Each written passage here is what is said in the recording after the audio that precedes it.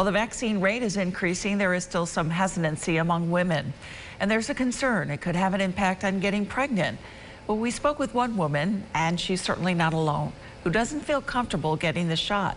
She shares why she doesn't feel comfortable just yet.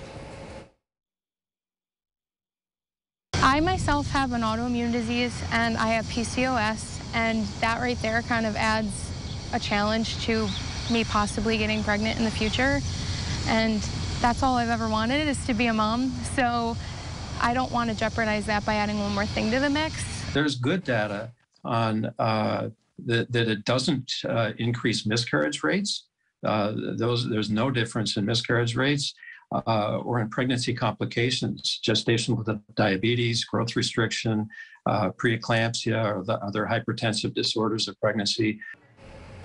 If you have any concerns, Dr. Bowen encourage you to talk to your doctor.